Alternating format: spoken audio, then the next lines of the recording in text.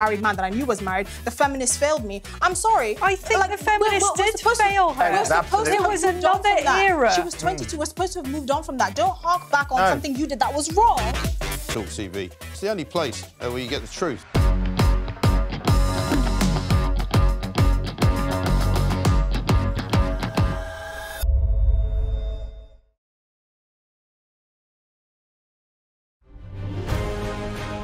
on TV, on radio, and on your smartphone. This is Talk TV.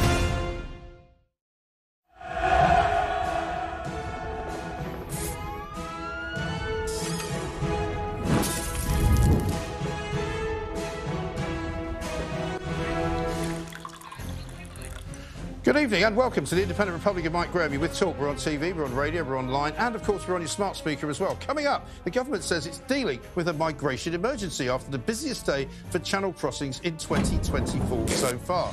London is no longer safe for Jewish people. That's according to an Israeli minister who calls the capital the most anti-Semitic city in the West. And a detectorist struck gold, literally, and unearthed the largest gold nugget ever found in England. He'll be on the show live with some gold.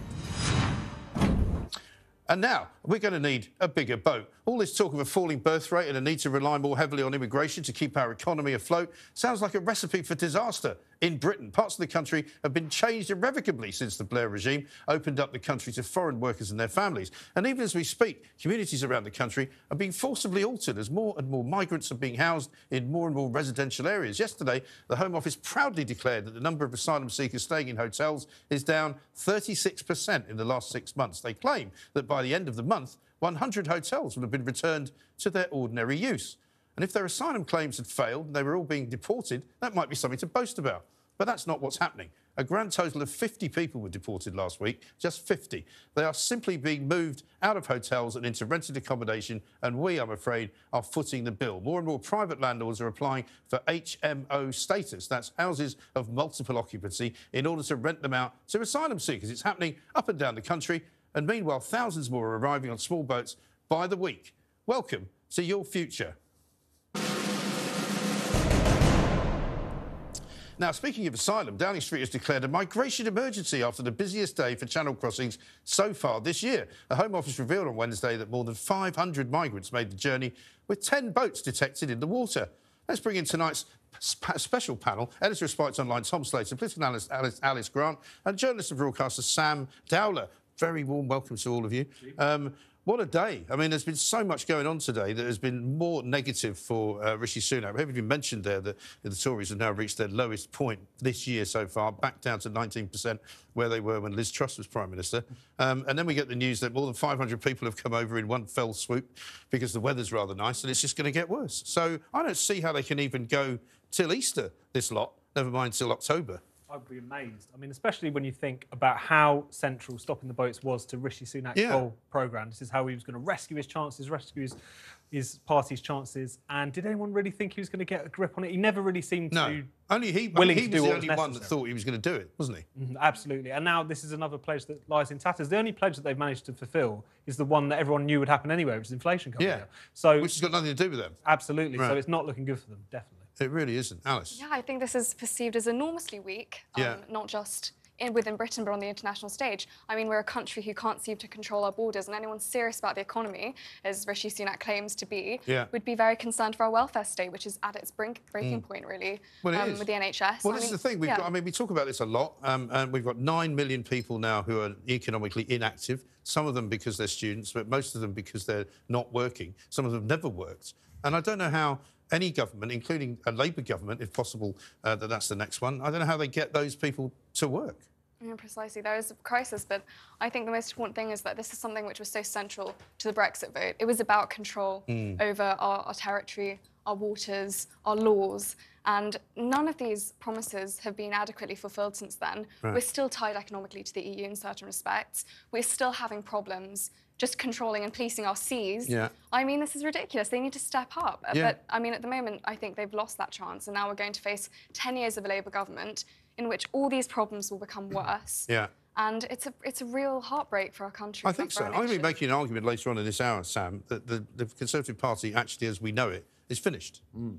Well, I mean, like I just said, I don't think it's time for them to step up. I think it's time for them to step down, really. I mean, is I mean, there's there's an argument to be said that calling a general election sooner rather than later will mean that they can palm all the problems that are currently, you know, currently going on that's straight onto Labour and say like, oh, look, Yeah. look, you can't deal with immigration. You've been in power for like two months. Not very patriotic, though, is it? To no. just hand a horrible, nasty part No, it, no, it is. No, it isn't. But I mean, let's be honest. They're not, he's not. They're not going to be able to change things at this point. Obviously, immigration is a um, an illegal immigration is a thorn in their side, and you know, and seeing and as the weather gets better, it's just going to get worse and worse. And it's and suddenly, suddenly, it's, they're going to be back in the hotels again, and people and people are going to be Right. up in arms. So I mean, there's there's there's no other real excuse other than to call a general election Yeah. sooner rather than later. Well, this is the thing. I mean, I put out um, this tweet actually, funnily enough, during the show yesterday because I spotted it from the Home Office that the, the, the, the, reduction in people being put up in hotels is, you know, it's gone down by 36%. And I just asked the question, well, I wonder where they've gone. Because obviously they haven't been deported. We've only deported 50 people, all of whom were criminals. So presumably they were in prison, and then when they got freed from prison, they were simply sent back home. So they're basically going into. And I got such an incredible response from from people who who watch this show and listen to this show from all parts of, of Britain saying, oh yes, in our in our street we've got you know two houses that have been made into multiple occupancy. Uh, they've now got asylum seekers in them. You know, instead of six bedroom houses, now a ten bedroom you know multiple occupancy unit, and it's happening from sort of Lowestoft up to Glasgow, down to Exeter. You know, everywhere in the country, these people are being distributed. I even heard a story today that there are Westminster Council is actually putting people up in some rather swanky addresses around the back of St James's, and that not only are they being put up there, families of, of, uh, of, of people who have come here seeking asylum, but they're, you know every day something new arrives for them. Is a new fridge or is a new cooker or some kind of white goods coming from John Lewis. I mean, it's a racket. It's people are not going to put up with this. It's terribly unjust. And it's, it's also just so superficial, though, because that's one thing. They were like, we need to get a grip on the hotels because everyone's heard about how much it's costing. People were seeing it in their local community. The place that is not only the employer, but the wedding venue is suddenly Right. out of bounds. So we've got to do something about it. But as you said, they just moved the problem around. It's a bit like the Rwanda scheme. Mm. Even if everything went perfectly to plan from here on out, which is inconceivable, Yeah. frankly, because of how they handled it so far, even if everything went perfectly to plan, you're talking about a few hundred people being taken to Rwanda. It's, it's purely symbolic at this point, but Hmm. Yeah. symbolism is all they've got left. It seems like. Symbolism is all they've got left, and Rwanda seems to be all they've got left. And they even have worked out that there's no point in trying to get that through uh, the Houses of Parliament before Easter because they know it's probably not going to work. So they don't want to get defeated now. They think they'd rather get defeated later. I mean, white, it was a white elephant from the start. It was Yeah. never going to work, and and obviously it was so much money, so much money being given to the Rwandan government, and we haven't seen a single plane get t- taken Yeah. off. And, and like you said, even if it had gone through, it still would have been minimal, minimal amounts. So Yeah. what was the point of it all? I know. Other than to, other than to pile further embarrassment on the Tory party. Well, all that seems to have happened is we've given Rwanda a load of money, um, which they've said, thank you very much indeed. Uh, it might not be enough, but uh, it's a good start. you know, literally, that's So embarrassing. it's ridiculous. I can't believe uh, to think they had an 80 seat majority Yeah. Um, with Boris. It's hard to and imagine, they totally squandered it. Yeah. I mean, there is no excuse for this. It's just shocking. And you know, the only thing that makes me feel less embarrassed is that actually it seems that it's not our country which is incapable of being incompetent as well, but also apparently many others across Europe and Mm. Yeah. America too. But what is going on in politics? Something needs to change I know. because this is unacceptable. Well, I mean, when we see as well in this new poll, I mean, Labour 25 points ahead of the Tories, but Reform only four points behind. I mean, that's got to worry them as well, isn't it? It really should. But I- I'd be amazed if they were so surprised. First of all, how dreadful things have been for Yeah. so long. But also, as impressive as that 80 seat majority was, it was always kind of slightly fragile as far as it's a Yeah. new coalition. Do they really trust you yet? You've Yeah. got to deliver for them. Right. Things have got really also, volatile most of the people, are voted shopping to around. get Brexit done. Absolutely. And It wasn't- Brexit didn't get done. And people in the red wall were taking a risk. They were thinking, you know, I've Yeah. never, I've never voted Tory in my whole life. Mm-hmm. Yeah. I might just do Exactly. this, and which is the, Yeah. obviously the, the, the red wall is going to collapse instantly as soon as Mm-hmm. as soon as there's a general election. So I mean, they'll lose But is 80, it- they'll I- lose I those mean, 80 it would seats collapse straight for the. Tories, maybe. Yeah, but that's what I mean. mean. That's I mean, what I I don't know whether Labour gets it back though, because Reform could do an awful lot better than everybody thinks. I think it, it's quite plausible that Labour could win a lot of those seats back by default Yes. because of the fact that not only does the Tory vote collapse, they'll lose some to Reform. Mm. I think a lot of those working class voters in particular are probably going to go back to not voting. Right. They're just sick of the lot of them. Right. So I think even if Labour win very handsomely next time around, it's also going to be fragile because Yeah. of the fact that everyone knows no one's enthusiastic for Keir Starmer. Right. I think I think the real pain here is the loss of momentum that was created because of Brexit. Yeah. There was such a lot of hope, um, a hope of you know an empowered future for Yeah. Britain, one in which we were in control, we had our sovereignty Yeah. back. There was so much we can do with that. Absolutely. And instead of pursuing, um, you know, a positive vision for Britain, what they've done is they've um, Well, effectively they botched it, didn't they? I mean, and I botched accept that, you the know, COVID, job. didn't, COVID didn't exactly help. But I remember, Yeah. you know, when that sort of January 31st came around, 2021, or 2020, I suppose Mm-hmm. it was, wasn't it? Um, the Brexit vote was in 2019. So, yeah, end of January. Mm. And, you know, I went to a party. It was very, you know, the, the, there was a lot of sort of hope. There was a lot of um, happiness. And people were like, this is going to be great, actually. We can do all these things. And then suddenly COVID came. And then Mm. it all got botched. And, and I think Northern Ireland is a good example of where it all went wrong, where you've now got Sinn Féin in charge of the, of the, of the local assembly, um, who are going to push for a united Ireland. And, you know, before the end of, you know, maybe um, the decade, you're going to see a possible vote in Ireland for a united Ireland, which, Well, which united- may result in the breakup of the United Kingdom. But you could see a United Kingdom that was Wales and England.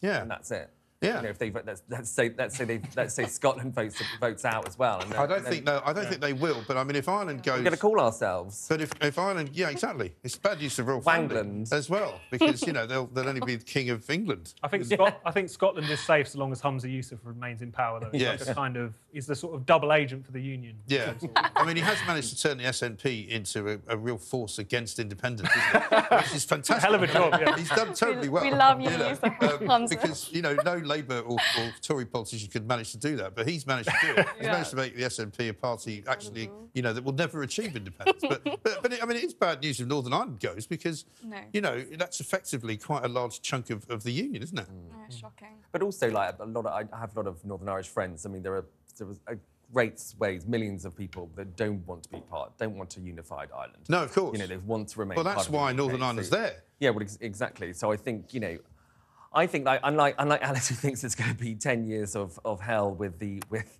with Keir Starmer, I do think. I do think that we have to try and be positive. I mean, I'm, I'm I would say I was a centrist, and I've, I've voted for both sides. But I think you know, it's they've made such a terrible job of it. I don't see how it could possibly get worse. I mean, don't quote me on that.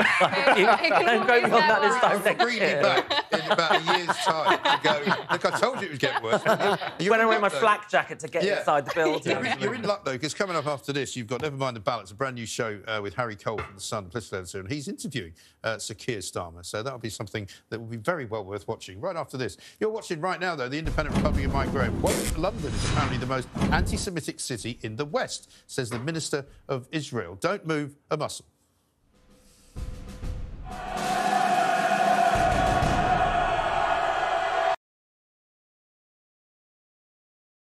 Hey, very good morning to you. Thanks for joining us. You're with Talk TV, on TV, on radio, online. You're on your smart speaker. Now, you ain't going to have an eve it, me old Chinas, but a new report is calling for a new definition of cockney. All right, Jeremy, me old China. All right, Rosie, stop. oi, oi, treacle.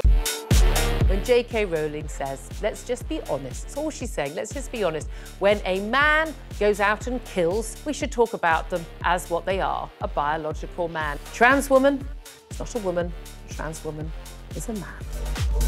Lee would have to go f- much further than his statement. I mean, he, he did say that he spoke clumsily and he understood the Prime Minister's position, but I think he'd need to say that he'd got it wrong. Then I had a phone call this morning um, from Plymouth City Council, a lovely woman called Anna. And yeah, I've just received an email just saying um, that, yeah, I'm going to be getting a badge. Quite right, too. Quite right, too. It's that time again to get the violins out. That's right. Prince Harry has lost his bid for UK security after moaning he'd been singled out. You might as well be discussing an invasion of Daleks for all I really get this. but but but I am now on social media, having been dragged off my eight-pound Nokia, reluctantly kicking and screaming. I'm I'm a huge hit on Instagram, as you probably know. What are you doing? I was just about to do it. Oh, It's carry on. what just happened? Whoa, listen. There was a suggestion by some that maybe it would be nice to put a statue of the Queen on the Hmm. fourth plinth. Mr. Khan apparently wasn't too keen on that. I'm sorry. I know it's I know it's coming, and I can't stop laughing. So he suggested Alternatives. There's a sweet potato. That's quite a small statue then. Wasn't there also a prostitute? Ah, a trans sex worker. You don't really need one of those in Trafalgar Square. You just got to walk up to Soho. It's only about 40 minutes. Why do you know this? Because I know everything. Uh, was he just unlucky getting that question with an ice cream, or is it a sign of something more? Seemed like he was on a uh, late night show to attract a young demographic, and uh, they put him in an ice cream store. I read the statement this morning from the family. And if any police officer reads that statement, if you don't cry for what you read from what the family is saying, it's heartbreaking, then you shouldn't be a police officer. The UK, I'd say, has lots of racism within it. I don't necessarily think it's a racist country, but it permeates our institutions. Yeah, but for her to say, come out and vote, and by the way, t- when I was 22 years old and I had an affair with a married man that I knew was married, the feminists failed me. I'm sorry. I think like, the feminists did supposed fail her. We're supposed to It was moved on another era. She was 22. We're supposed to have moved on from that. Don't hark back on No. something you did that was wrong. Talk TV. It's the only place uh, where you get the truth.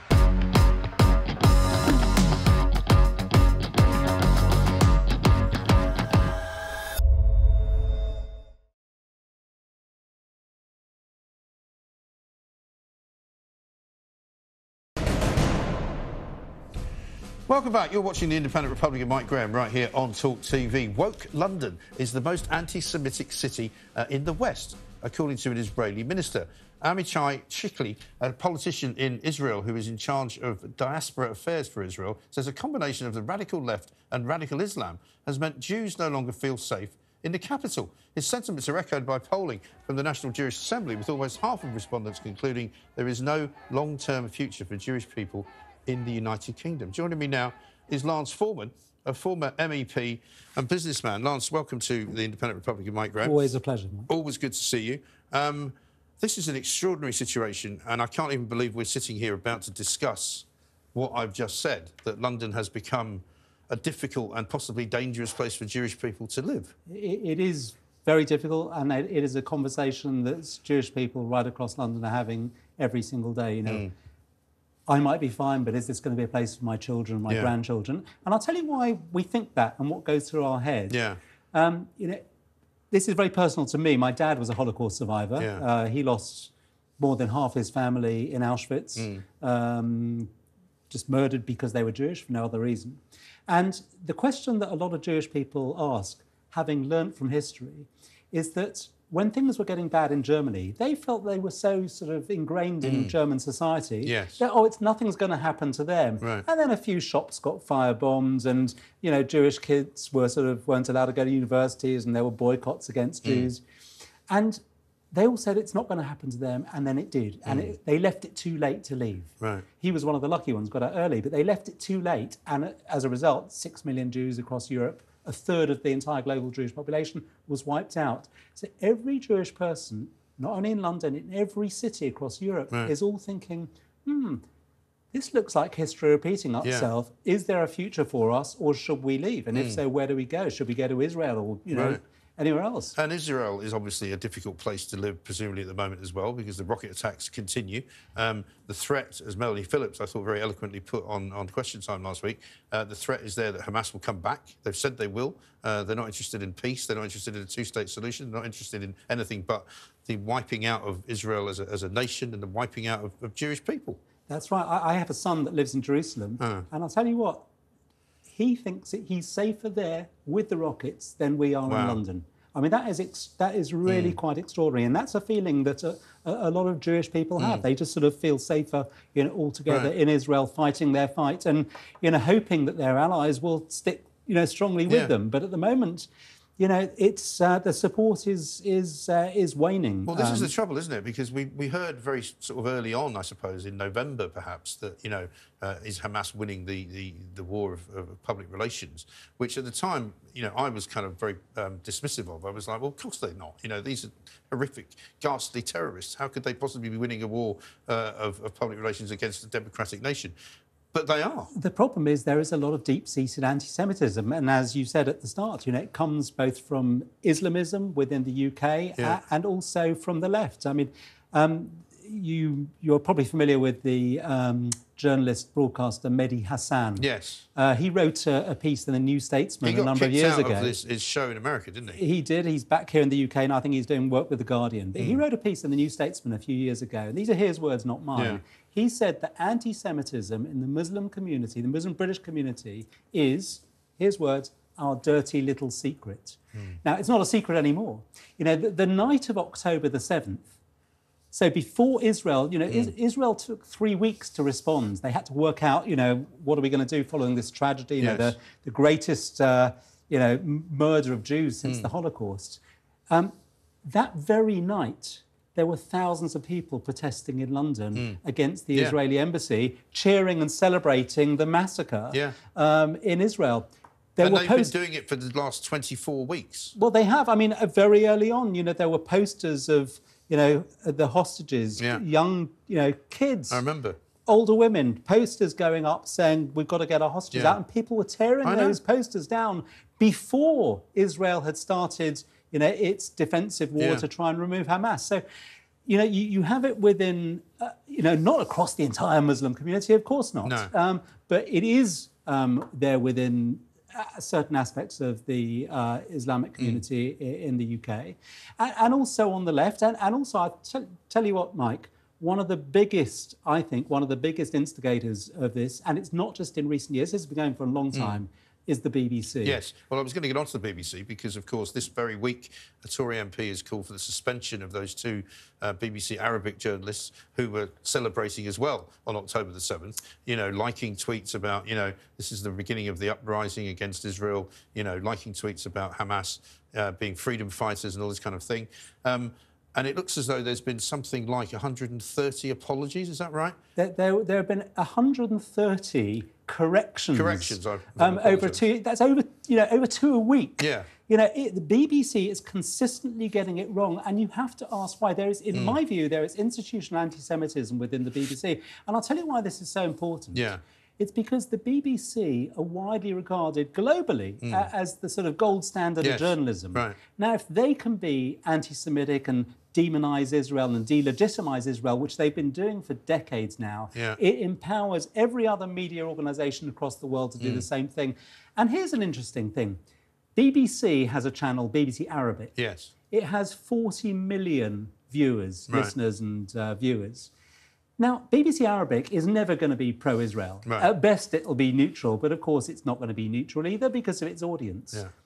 BBC Arabic's funded by the license fee payer. Yeah. Why should I be paying for the sort of absolute junk For propaganda. and bias that it's just Yeah. churning out week hmm. after week? Even if the BBC in the UK is, you know, we can complain about that too. You know, not calling Hamas terrorists. they did that for they weeks. Still, well, they still don't call them terrorists. They now just say that they're prescribed as a terrorist group by the government. It's outrageous. They still don't call them terrorists. And the other thing that I found astonishing, and I mention it as often as I can, Jeremy Bowen, who used to be a very fine, upstanding, you know, straight on reporter, seems to have gone completely over to the other side.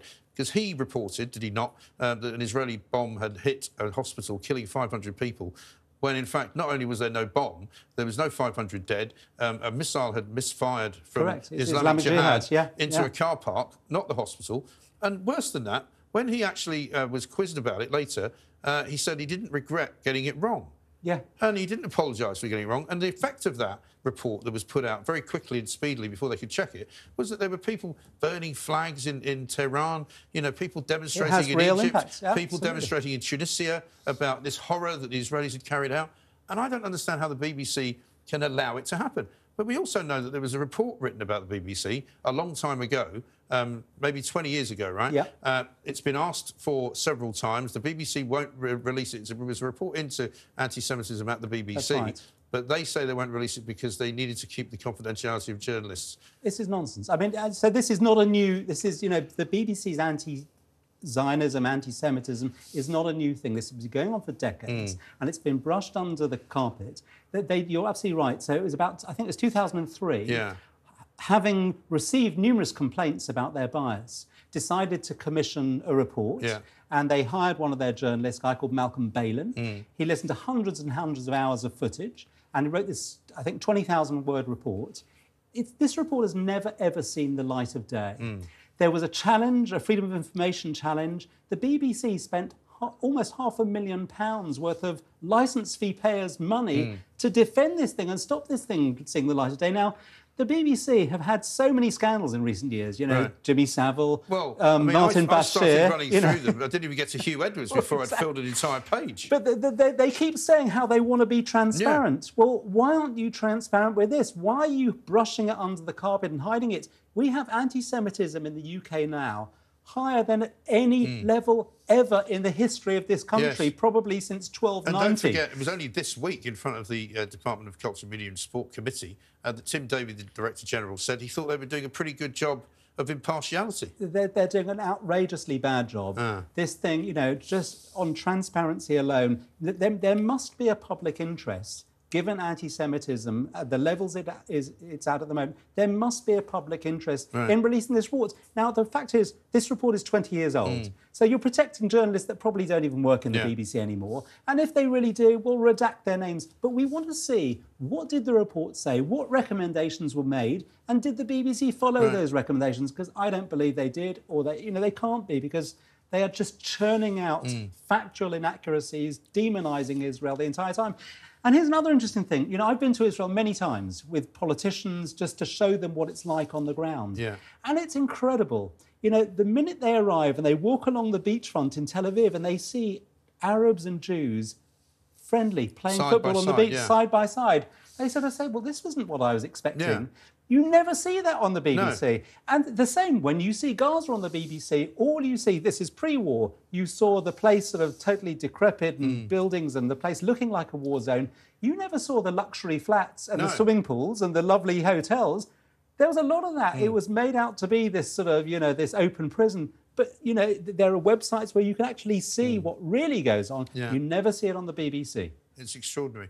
We could talk about this all night, but We could. unfortunately, we're out of time. Lance, good to see you. Thank you very much indeed. And, and good luck with the business and everything else that you're doing in London. Um, and we will see uh, how this all plays out. But it's not good. You're watching the Independent Republic of Mike Graham. I'll tell you why the Tory party's killed itself coming up next. And we'll be discussing the largest gold nugget ever found in England. Yes, it's Talk TV, the place to be.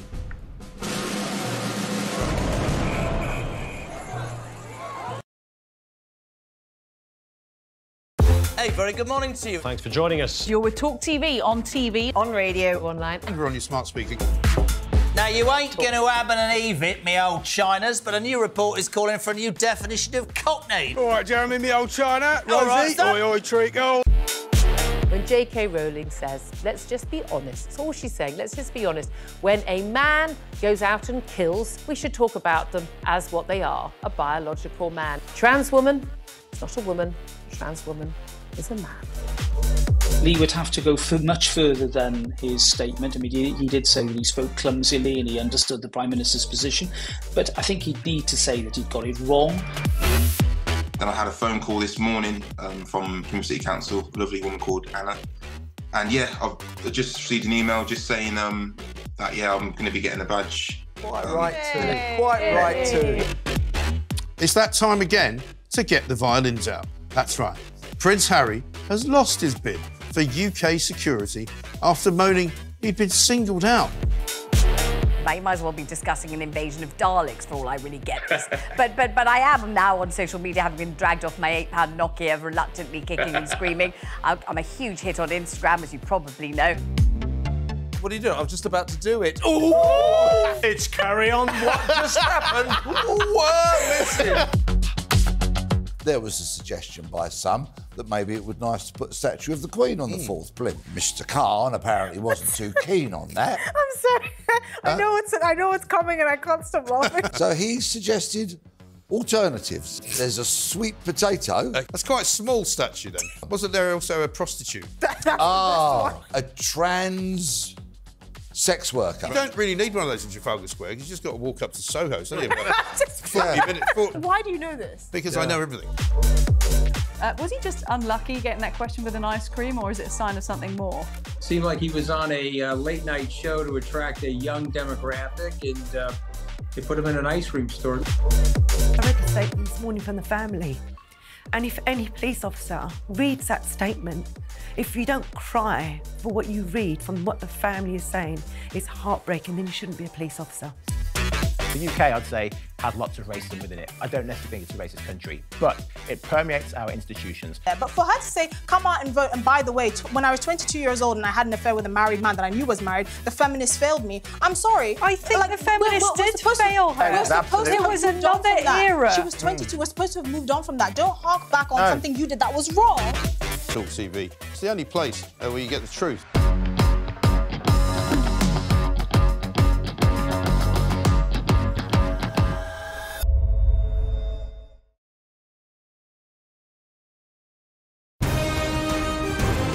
This is Talk TV. Welcome back to the Independent Republic of Mike Graham right here on Talk TV. Now it's time for Taking the Mic.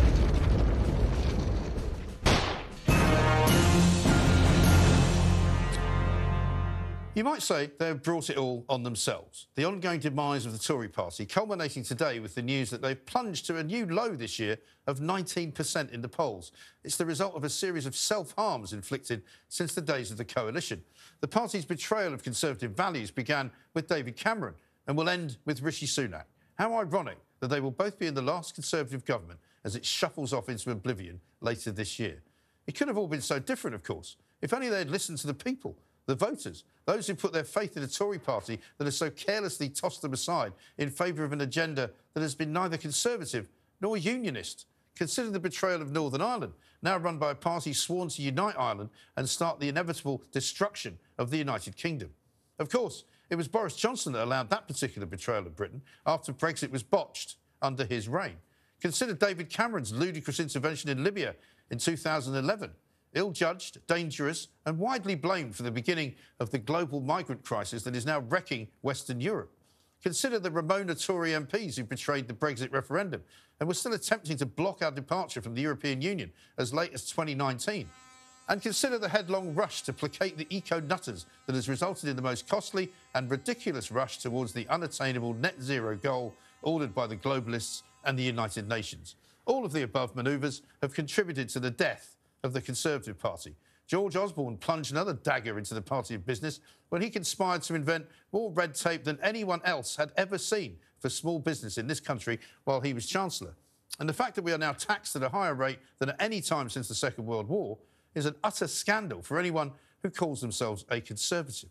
The Reform Party is just four points behind the Tories now, and you wouldn't bet they won't overtake them before the election, which is widely expected to be held on October the 17th. The Labour Party are 25 points ahead and seemingly unstoppable, despite revealing hardly any policy on anything. In the words of Sean Connery, the Tory party is as dead as Julius Caesar. They can't stop the boats. The highest number of illegal migrants this year crossed the Channel only yesterday. Another 500 plus to add to the hundreds of thousands already here. They can't reduce NHS waiting times. They can't stimulate growth. All they can do is continue to expand the state, waste more of our money, and betray the very people that put them in charge. So I say this stick a fork in them, they're done.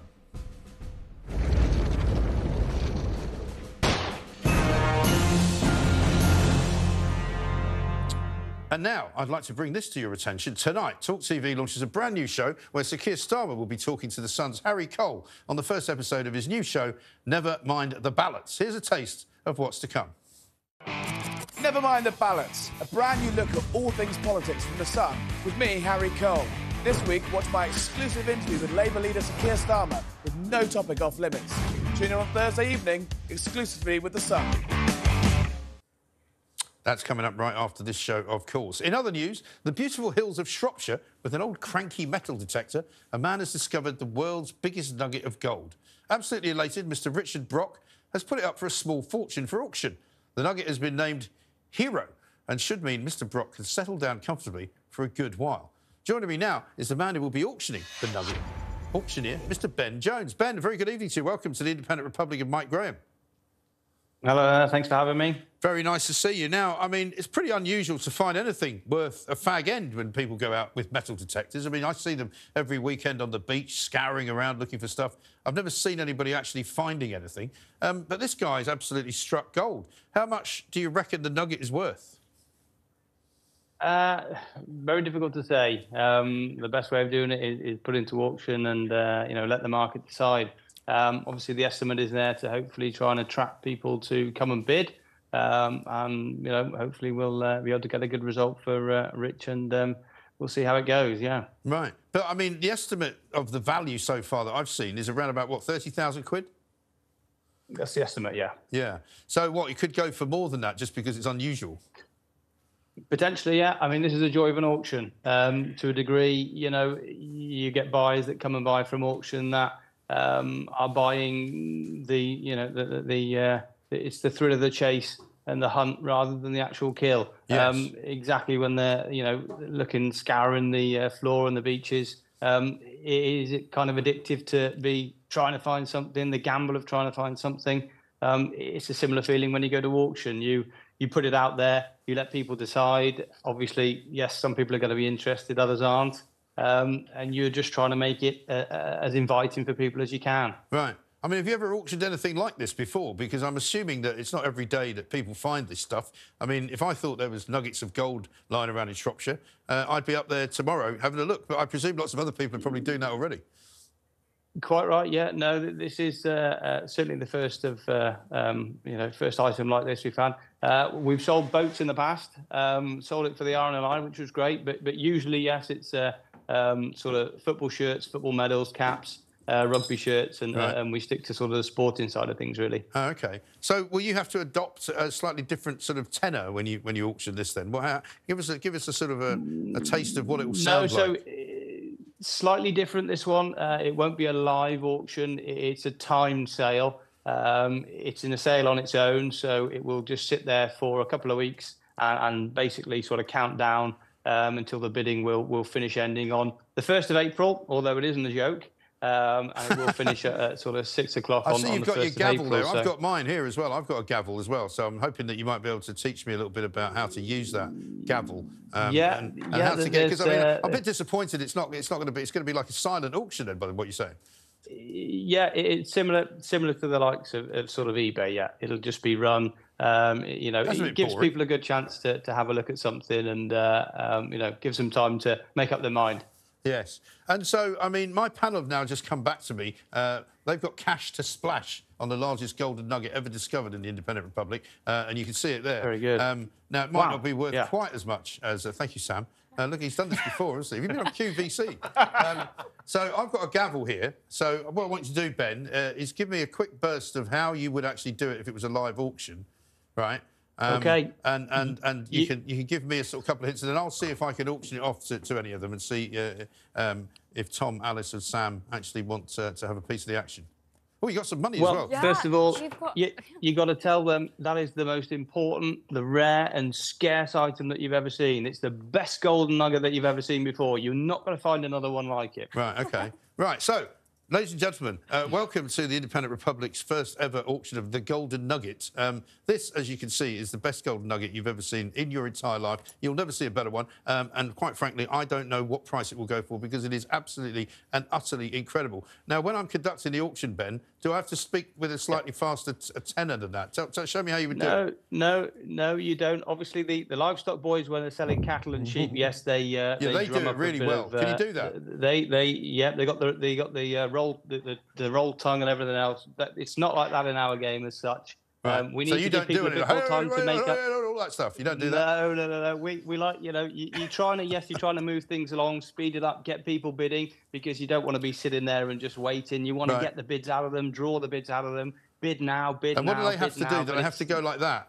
Do they go like that for, for an auction bid? Uh, when alive, yes, yeah. Either a nod if they if A they nod? can catch your eye and you can Right, catch theirs. so I've got a to nod be is quite aware, quite alert to all that. All right, so Yeah, should we get yeah, on? Should we get on? and Give it a try. Give it a All go. Give it a okay, whirl. so this is on Ben's advice. So welcome to the uh, Independent Republic auction. I'm, I, I'm, I'm, what am I bid? Am I bid uh, ten pounds for the golden nugget? Yes, I have Sam. I have 200. from Alice. Um, I have Mike Graham's currency. Ten- Sorry, it's George Graham's. 200 Five grams. 5,000 grams. 5,000 5,000 grams. from Sam, and, uh, 10,000 grams. 10,000 uh, from Alice. Um, Tom, what are you going to go for? T- 10,000. 20. I bid 20,000 um, for the Golden Nugget. the We'll go in golden together and nugget. do Yeah, 15 big- 15,000. We'll share it. 15,000. We'll share it. 15,000 going once, 15,000 going twice. Oh. Have you got any more, Tom? Can you give me any more? Bounce it with- uh, That's for you personally. That's for me personally. Thank you very much indeed. David Dickinson. Um, I'll take that and put it away somewhere for later. Sold to the man in the dark jacket.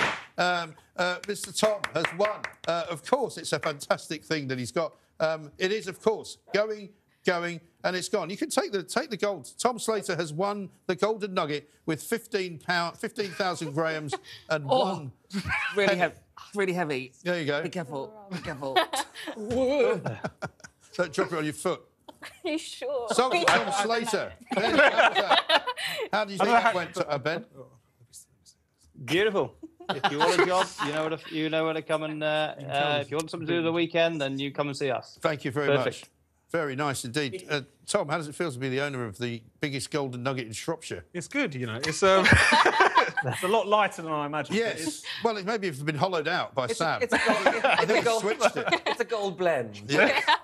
yes, it's gold-plated nuggets. I think it is, you know. It's an Easter egg that's melted. Yes, Like, but, um, it may well be a potato in there, in there but uh, don't, un- I think I've, I've don't been, unwrap it. starting to think I've been ripped off. Would be my advice. an Easter egg these days. Well, that was good. I also I made a few quid out of that as well. Exactly. So It thank turned you very into much a bribe rather than a bid, Yeah, but, that's know. fine. That's entirely in, in keeping with the benign dictatorship that is the independent republic. If anybody else wants to bribe me, feel free. Uh, obviously, that's just a joke if you're watching from the regulatory authorities. You're watching the independent republic of Mike Graham. Find out what fantastic idea the England football team have come up with. And we're talking Emmanuel Macron's muscles. You won't want to miss it.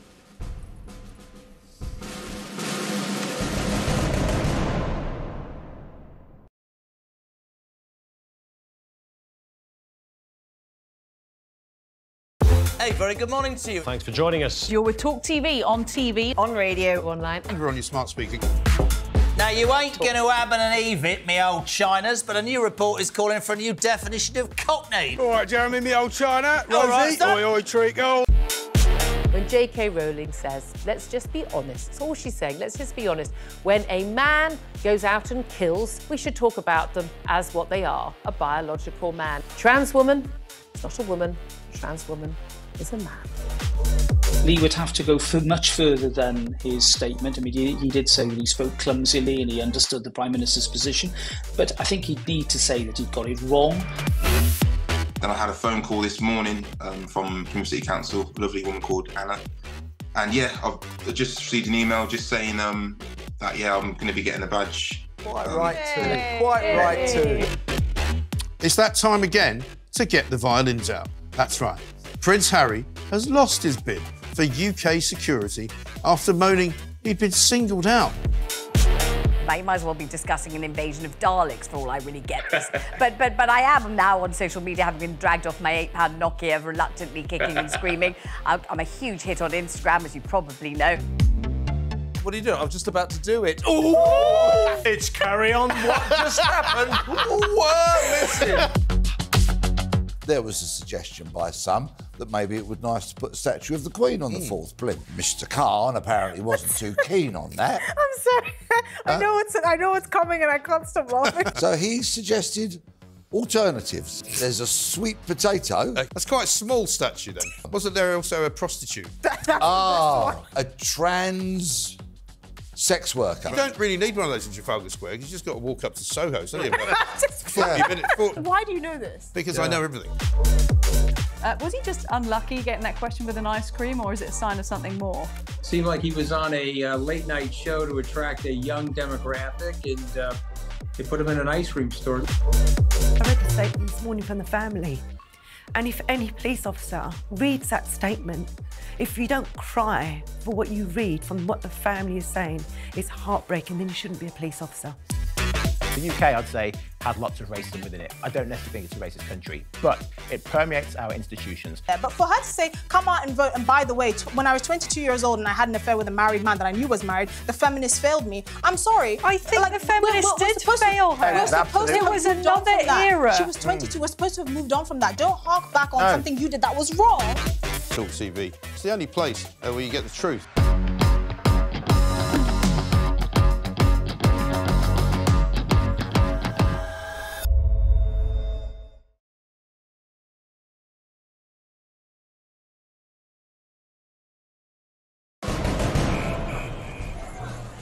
Back. You're watching the Independent Republican Mike Graham right here on Talk TV. Now it's time for this. The world of woke. How do you know when you're making too much money? I'll tell you. You start ordering your own personalised fragrance. You pay for it out of some bloated bank account, the same one that you paid for your diamond earrings, your personalised number plates, and your swimming pools. The world of woke, of course, is no different. This time, though, it's England's footballers that are in the frame. And they're not just spending money for their own enjoyment, they have headed down that long and overpopulated rabbit hole known as mental well-being. It's a racket that only the mega rich can afford. The European Championships are coming up in Germany in June, and the England bosses have come up with an idea which is utterly bizarre, even for them. Get this our pampered heroes are taking their own perfume with them to recreate the sweet smell of um, success. The trouble is, last time out in 2020, they only managed the sweet smell of failure. They lost in the final to Italy. Of course, there are some in the sporting world that consider being runners up to be some kind of victory. Unfortunately, some of them are at the very top of the management tree. But for all their talk of journeys and inclusion, there can only ever be one winner of the Euros, and that would probably be the team that wins it. This year's team of multi-millionaires will be staying in five-star luxury at their base, and they're not messing around. They're not just bringing one perfume, they're bringing three.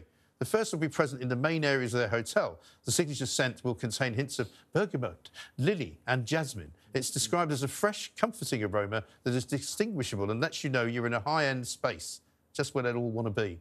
Seriously, the second scent is a more energising aroma which will be used for gym and recreational work. And a third, with hints of lavender, is to be wafted around the players' bedrooms to help them sleep.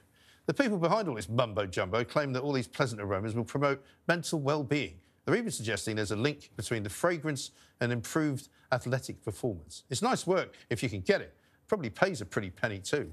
But the pampered poodles will have to do without their Lamborghinis and Rolls Royces for the month, of course, while they're ferried around in coaches to and from the games. No word yet on what they will smell like. We've certainly come a long way since the days of Kevin Keegan splashing it all over him with Brut 33 after a communal shower. Will it make any difference? Of course it won't. The world of woke.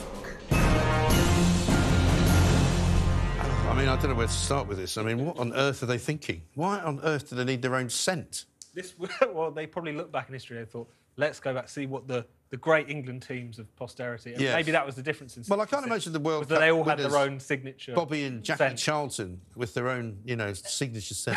When you first said their scent, I actually thought that they were creating a scent From from, the- from their own bodily because, mm, because smells. the- that's what happened in the Roman Empire with the gladiators. Mm. They were so popular, they literally used to have little vials of their sweat to sell Oh, to the really? fangirls. Well, I'm So sure I that think would be quite compared, popular if- compared to the gladiators. Yeah.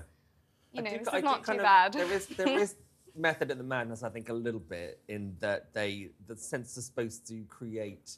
Um, they, that's, that's what they. It's, that's what it smells like in their own club, basically, and that's what when they when they when. But they're I presume the- it doesn't, though. When they when they're up, it's supposed Because to they've recre- invented- It's supposed to recreate their home from home, so they therefore they feel at home. They don't feel like they're in some sort of smelly foreign hotel. Well, yeah, Um, except that it's Like except that it's not what they're used to, is it? I mean, the, the bergamot one smells. It, it's, it looks to me. smells. It looks to me like one of the already Joe used, I Malones that, the people buy. Does, isn't, a Joe, I isn't mean, there a Jo Malone what one with kind of bergamot target and market, jasmine? market you Huh? know? These like floral scents are Mm. quite feminine. I'm wondering if it will be go down very well with the kind of football Well, I mean, football crowd. not exactly, you know, what you might call romantic types, are they? And you I, don't know if Kyle, I don't know if Kyle Walker's going to be there with his new girlfriend or his other kids or his ex-wife or, you know, well, he's, but he's got a diamond earring. I just don't think that, you know, whatever money they're wasting on this cobblers, I mean, how is it going to have any effect on them? This comes, by the way, on top of the, the other problem, um, where Nike have put out a, a, um, an England shirt with a flag of St George in the wrong colours. Deliberately. That's embarrassing. Because they're harking back to supposedly what the um, what the 1966 team trained in, Mhm. which is sort of red and blue and purple. But it looks suspiciously like an LGBT type sort of scenario, and they're not going to change it. And even Keir Starmer's critical of it. Well, it's a lot of superstition, isn't it, really? And I think, and a lot of football is, I mean, I'm not a massive football fan, but a lot of it is to do with superstition. I've watched, I've watched games with a friend of mine, friends of mine. Yeah. I think I was wearing a pale blue shirt, and he was Mm. like, "That's a Chelsea colour or Yeah, something," and I had to right. take it off, and a big hoo-ha. Right. But like, but I, li- Well, I but I like a what bit you of difference, though, isn't there, between putting your left sock on first and having bergamot But and yeah, jasmine floating but also, around. which I'm sure is lovely. but, but like, but like, like you, but like you say on the on the coach, I, mean, I don't know if anyone's been on a long coach journey where uh, where, where where solids are allowed in the um in the on in the onboard toilet. It doesn't smell. It doesn't smell. I like where this that, going. that I bergamot find and it lav- the bergamot and lavender will feel like a Yeah. scent of the past by the I time. just find it hilarious knowing that our England team will be smelling of lilies and bergamot and jasmine. What is that saying about our men? Our They'll- supposedly they'll lose, but they'll great smell English great. men Tells smell like does lilies. it not tell you that, that, that, that Gareth Southgate is finally flipped? You know, because of all the ridiculous things he's come up with, this is the worst. The pressure's finally got to him. Yeah. He's, he's, he's gone on a you know a weekend away, testing out various different scents, Yeah. and he thinks this is the answer. Unbelievable. I, am happy that they're No, going to but smell let's sweet. about Emmanuel Macron because I mean he is another person that you might think is constantly surrounded by scent, being a Frenchman, you know. Um, but apparently he's released a rather indulgent study of himself, displaying his what's called ultimate virility in his new muscles. Have we got a picture? Shall we have a look?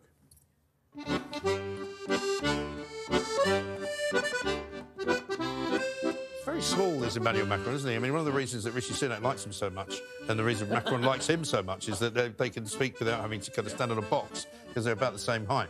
But he's looking very moody, isn't he? It's all sort of French it's all philosopher a there. bit sort of Yeah. Jean-Paul Belmondo. You're probably too young to remember him, but he was a French film star um, who played everything from sort of gangsters to um, Jean-Paul Belmondo. Very cool guy, actually. But but Ma- Emmanuel Macron is no Jean-Paul Belmondo. More, more Jean-Paul Gaultier, perhaps. Uh, more Jean, well, Jean-Paul Gaultier is a bit more interesting, I think. But also, Jean, also the Jean-Paul Gaultier ads have all the have all the big the big bicep muscles. I mean, I think you could, you know, you could you could. There's a case to be made for that. I think it looks quite sexy. do you think actually. you do? Okay, well, I'll Yeah, I take your think- word for it. yeah. I I mean, it think doesn't do anything for me, I'm afraid. Something slightly suspicious of trying to, you know, portray political power through masculine Yes. terms, but it's very, you know, it's very archaicizing, I think. I mean, but Rishi Sunak does it I a have to different say, way, doesn't he? Well, That's the thing. I'm a bit embarrassed now. I think Rishi ought to ought to publish some. Did you some, not- What, him on the some- Peloton?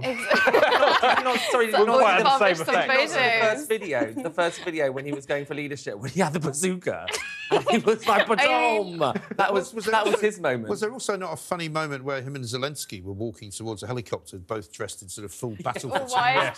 and it looked like sort of you know, the Thunderbirds are go. bit, Thunderbirds yeah, are that go. sort It was a bit like that. Yeah. That sort of proportions, but you know, at least he's hitting the. He apparently is into boxing. Emmanuel Macron. He seems like he's hit the. There was that terrible video of Keir Starmer trying to punch, punch bag. Yes. And if you ever want to and laugh, it do was watch really that. bad, wasn't it? Really bad. It looked like he was literally. That looks a lot better. Yeah, So- Boris Johnson uh, was somebody who liked a bit of um, you know image building, didn't he? Here he was boxing. I don't know quite what. Uh, uh, leading with his left, you know. Uh, he's not got some great. He's not got great. He's also got his shirt hanging yeah, out. why is well. he doing it in a shirt at Yeah. all? That's, Well, the thing is with these guys, everything they do is quite carefully choreographed. Yeah. You know. I, th- I don't mind the Boris boxing actually. I think it's quite, it's quite cool. I would I would imagine Rishi Sunak, you'd see him sort of down at Muscle Beach in uh, Santa Monica, you know, pulling himself up and down on those little, you know, those little bars. Because I mean, that's really where he wants to be, isn't it? W- Wasn't I mean, he? Wasn't he spotted at some sort of Taylor Swift themed exercise class? He was, when he was, in when he was there, America? yeah. Yeah, and in fact, So- was it not something that everybody thought Taylor Swift was going to turn up to?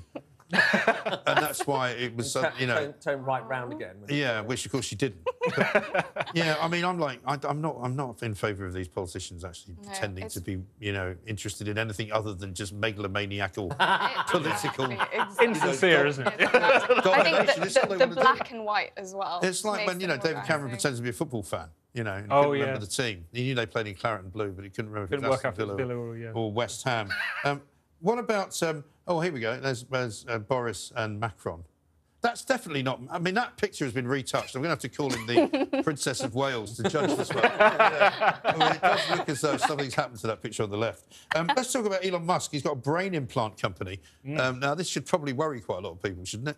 It's, this is the Neuralink, something he's That's been right, working yeah. on in the background for a Um, long he- time. apparently, he's, he's been able to show a video of a paralysed patient using technology to play chess on a computer. And that so is incredible. Quite interesting. Because you do, people tend to sort of jump to the most apocalyptic conclusion when you hear about technology Yeah. like this. But obviously, if you're talking about someone who can't move any of their limbs, something like this enabling them to Yeah, use a computer. You can see this is the uh, this is the clip in question. Yeah, it's all good. I mean, I suppose that the trouble with people who think about they, they see Elon Musk as a bit of a sort of dangerous character, don't they? They think he's some kind of you know sort of master of uh, time, space, and dimensions. Lives in a volcano and he lives in a somewhere, you know, volcano yeah. somewhere, and he strokes a cat. and if you know if you put something in in your brain, you know, it'll program you to do something really weird or something. I don't know. Maybe it's just me. Program you to tweet incessantly. I think incessantly it's, it's, until, it's, you know. it's the fu- well, it's like for, at the moment we have wearables. You know, wearables are you know your your Apple you know Watch whatever. Yeah. Like this is I've got know, one for my This is car. an insertable perhaps. It's like you've got you know I, it's the future. Well, if this, is the, people if this have is the future of technology and we there and not a we and guy- we're benefited, then why not? Is there not a guy? I'm pretty sure I've seen a, a story on this guy who's got a, a, a sort of chip and pin chip embra- emblazoned or, or put it implanted Oh, yeah, into his next to his thumb, so he just has to go like that to pay for things. I, something strikes me. I'm like, well, all you have to do is that anyway, sinister. but with a card. So why would you Yeah. make sure somebody put it in your hand? Yeah, but that's what that's what we used to say about putting in the pin number. Now, if you ask putting your pin number, you're like, oh, really? Ooh, Yeah. beep, beep, beep. I know it's true actually. I when I used to think- go I to America, I used to be baffled because they'd make you sign on this ridiculous Yeah. sort of Like know, the sort of- 80s. Yeah.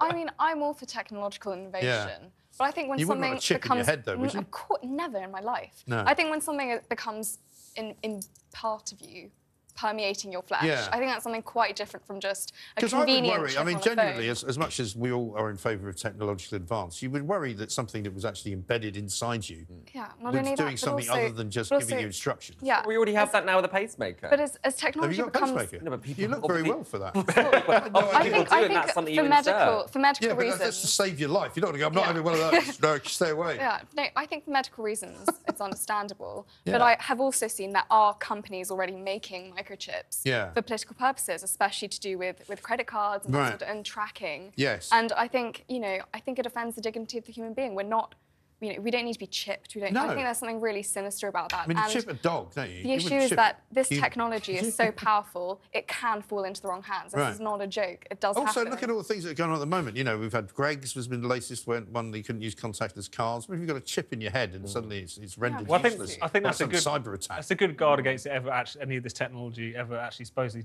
you know taking over because it's all actually quite naff at the same time. It doesn't Yeah. work very well. Right. Probably get a, pro- you probably, your chip will probably get a virus. Probably. And how will that you know, affect Round and round in It's like, this, is, but this is the beginning. This is the beginning of technology like this. So, like, it, obviously, it's going to be a bit faulty to begin with. But, uh, but, uh, but as you say, if you don't, if you don't want it, don't have it. But if, if I could have a chip and I could, you know, I didn't have to wear glasses or I could see through that wall, then why not? Okay. All right. We'll mark you down for. Make me a uh, superhuman. I'm up I'll for mark it. you down as a possible, shall I? I, just, I think with people As long as like it doesn't interfere with the Yeah. pacemaker. you should be absolutely fine. No, not the two. the two combined. Also, you don't want to see through walls because that could I mean, to he all was, sorts of there's, problems. there's a big advocate for this sort of stuff. I think the digitalization of, of, of the human being. Mm. And There's Klaus Schwab. Yeah. and I think he says some rather frightening things He does. about the power of technology. He does. He's not it been can around for much longer, though. I wouldn't worry too much political about him.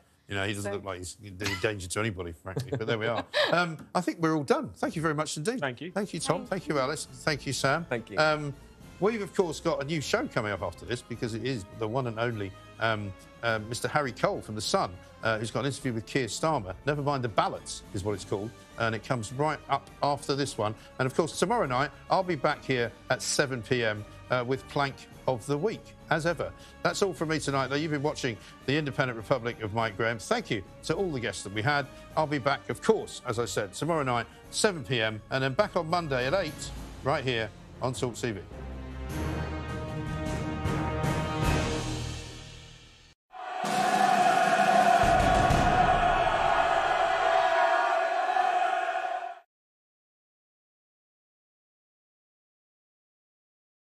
Hey, very good morning to you. Thanks for joining us. You're with Talk TV, on TV, on radio, online. You're on your smart speaker.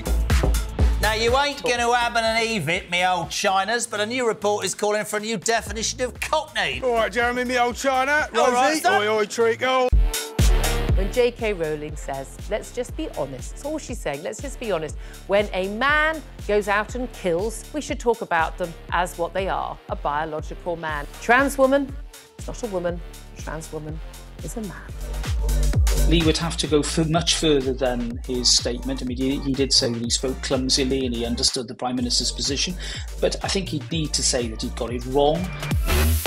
Then I had a phone call this morning um, from Plymouth City Council, a lovely woman called Anna. And yeah, I've just received an email just saying um, that, yeah, I'm going to be getting a badge. Quite Um, right too. Quite right too. It's that time again to get the violins out. That's right. Prince Harry has lost his bid for UK security after moaning he'd been singled out. Mate, you might as well be discussing an invasion of Daleks for all I really get this. but but but I am now on social media, having been dragged off my eight-pound Nokia, reluctantly kicking and screaming. I'm I'm a huge hit on Instagram, as you probably know. What are you doing? I was just about to do it. Ooh! It's carry on. What just happened? Whoa, missing. There was a suggestion by some that maybe it would be nice to put a statue of the Queen on the Mm. fourth.